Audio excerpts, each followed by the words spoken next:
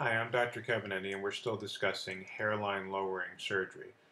Now, just to give you an example of the same patient that I mentioned in the last episode, um, we had talked previously about being careful about hair restoration surgeons just showing you pictures from one angle.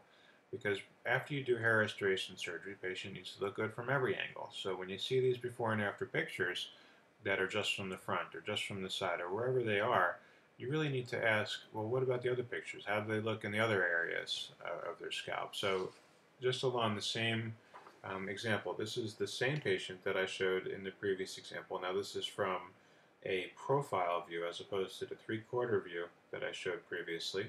And you can see that the forehead slopes, uh, sort of slopes up in this direction and then kind of goes back like this. So again, it's it changes direction right about at this point. You can see there's a, a sort of a, an up angle slope here and it just kind of comes down right in here.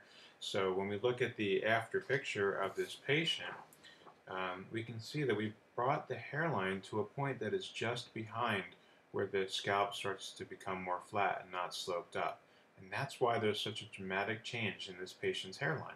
We have restored her hairline not only from the three-quarter view or the front view, but also from the side. And that's really important when you're discussing hair restoration, is to look good really from any angle. The, the patient um, still has a, a nice forehead like she did before. We haven't really changed the forehead at all. But because the hairline has been brought forward, you don't see the point after which the forehead starts to slope in the other direction. And this can make really a dramatic change for a patient and almost immediate result. It doesn't take months or years for hair transplant to grow in to get this patient to look good. This is just a hairline lowering procedure, which is a one hour procedure that can accomplish this.